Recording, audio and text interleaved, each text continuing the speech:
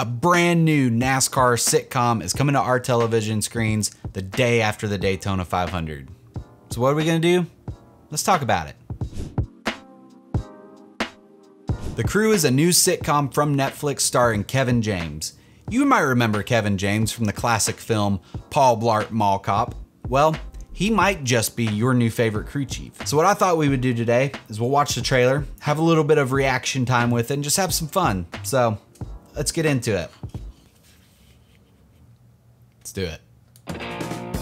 Look, I'm sure Jesse is a good driver, but you already got a great one. He's had a bad year. He didn't finish three races. All right, we're a team. You know, just because he's behind the wheel, you cannot pin this on him. Okay, Richmond.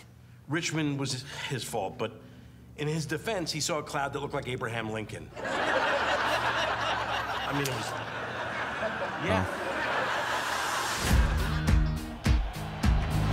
Can I have everyone's attention, please?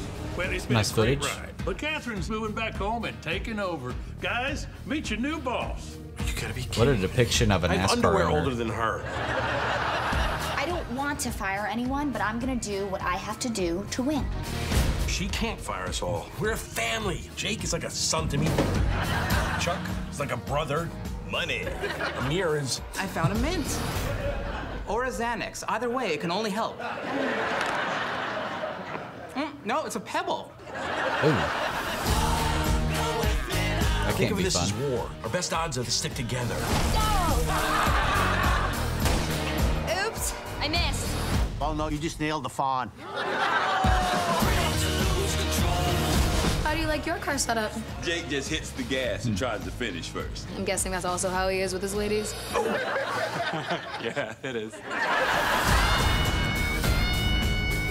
When have I ever let you guys down? What about that time I got arrested in Jacksonville? I'm not talking about little stuff, okay? There's nothing stopping us from being a top 10 team by the end of the season. Top 20? Top 20. Mm. Jay can make top 20, right, Jay? No, now he's sleeping. We had a meeting at 9. Well, no one told me. Did you turn on your notifications? Yeah. It's on now. Got it.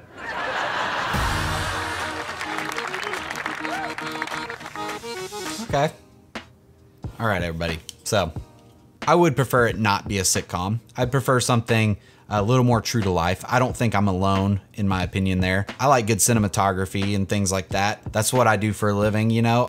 But that being said, it feels like for a sitcom, they put a decent amount of effort into it. Doesn't feel to me like they did the bare minimum. This wasn't just something that they put together uh, on as small of a budget as possible uh, just to diversify their library. I don't think that that's the case here. If they were trying to do that, NASCAR would not be the route to go, uh, just because even just propping out their sets and stuff like that, uh, this was a lot more expensive to put together than like a sitcom based in like a bar or something. So it definitely feels to me like Netflix is putting some effort into it. You know, they're putting some stock in this NASCAR world, this storyline. I think Kevin James is a good person to cast uh, as a lead role. Uh, he seems like he fits well in the NASCAR world. Obviously, Netflix is one of the world's largest streaming platforms, so it's such a good thing for NASCAR to have a presence on that platform. Uh, that is a big deal for the sport. It really is. NASCAR is going to get a lot of exposure that it wouldn't get otherwise due to this. So hopefully it's a good show. Hopefully the comedy uh, doesn't kind of fall flat after a few episodes. I know with this slapstick humor, especially when you're binge watching it, uh, it can kind of fall flat. Also, I hope the show doesn't completely suck, but we'll have to wait, judge for ourselves on February 15th. Who knows? Maybe it'll be a, a fantastic show. Maybe I'll make a review if I feel compelled. Either way, I'm excited about it. I think it's a great thing that's happening. I just wanted to get it on your radar and talk about it for a second. But let me know what you think in the comments. I want to hear what you guys have to say. And if you haven't already, subscribe to my channel, hit the bell icon so you know when I upload new videos. And you can follow me on Twitter or Instagram.